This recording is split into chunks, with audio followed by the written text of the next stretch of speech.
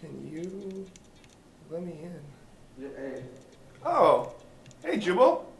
I know I'm late. Did you forget your key card again? Yeah, I can't get in. They uh, they told me not to let you get in without your key card again. That's for people who aren't employees.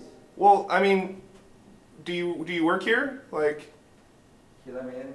is your name on like a show or anything? We I gotta get going, man. The show's about to start. You're recording the videos that we always do before That doesn't ring a bell. In fact, have we ever met?